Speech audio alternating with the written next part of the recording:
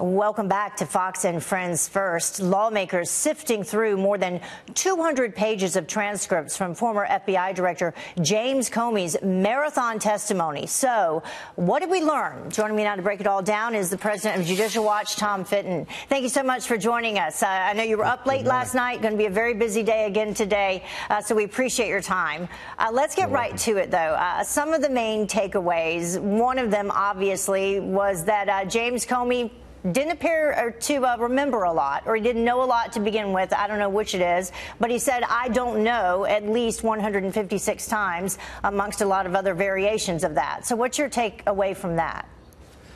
Well, it wouldn't be so bad if he professed ignorance on minor topics, but he professed ignorance on a lot of key aspects of the FISA, uh, the details about, for instance, uh, who funded it, about uh, because he signed off on at least one of the FISA warrants that targeted Carter Page and the Trump team, mm-hmm. and he professed not to know much about the origins beyond what he read in the newspapers later. And you know that's concerning, given that.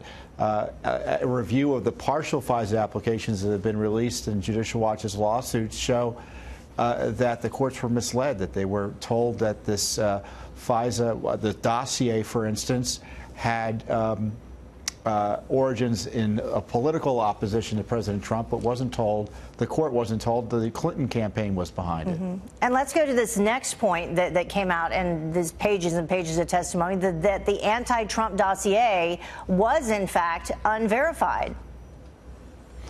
Yeah, he confirmed what we already knew that it was minimally corroborated. Remember, Devin Nunes concluded that in his uh, report earlier this year, and he was excoriated by the left for saying that, but it's true. It was minimally corroborated when they first applied to the courts and when it was renewed. And as best I know, it still is minimally corroborated. And remember, the dossier was used by, uh, created with the help of Russia Intel, according to Fusion, G Fusion GPS. Mm -hmm. So it looks like a smear operation by the Russians through the Clinton camp with the willing help of the FBI and, frankly, now the Mueller operation. And that's specifically important, the, the issue of verification, because uh, intel sources say that presenting a single unverified fact that throws into account this whole Woods procedure, which needs to be followed in order for this FISA uh, to be granted.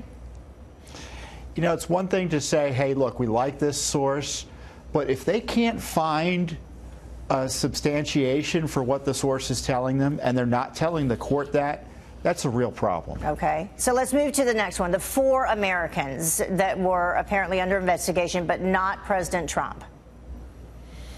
Yeah, so that is important. Those were all people associated with the Clinton campaign, they, uh, excuse me, the Trump campaign. They include uh, Carter Page, Michael Flynn, George Papadopoulos, and the fourth name's escaping me.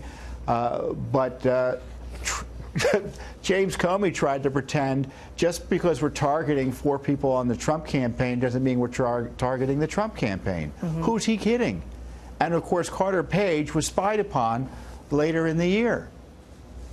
Yeah, so let's move to the fourth one. Uh, he defended the FBI agent, Peter Strzok. He said there was no indication of bias. You just said, you know, who are you kidding? You could probably say that here, too.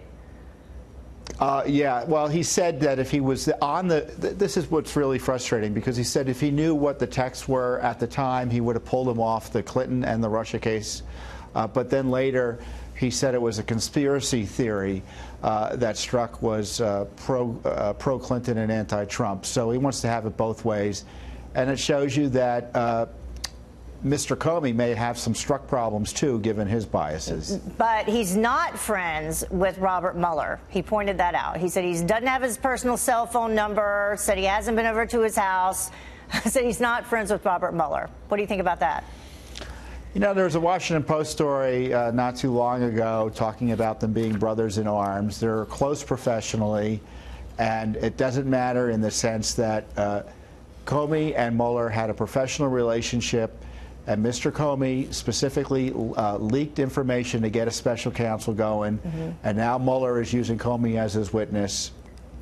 And people are concerned about the conflicts yeah. legitimately since they had this long and close working relationship. And Tom, you're testifying before Congress on December 13th, correct?